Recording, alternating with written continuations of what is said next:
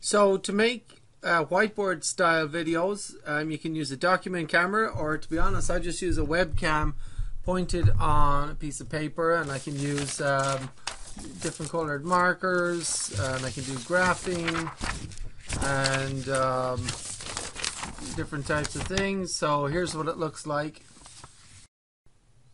So I can use different colored pens on a piece of paper to get the same effect as a whiteboard. Uh, my favorite are these Papermate Flair pens because they're not too thin and they're not too thick.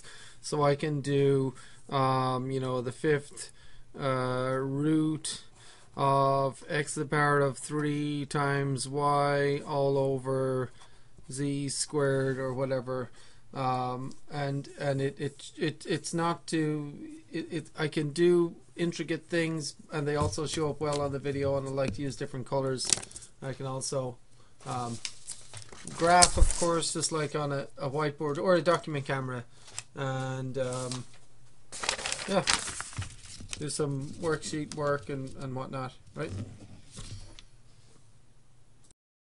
If you want to make a video while recording the screen, one way to do that is with Camtasia Studio. You open up the software, you click record the screen, and now you can do, say, an Excel lesson or a PowerPoint uh, presentation while you're recording the screen.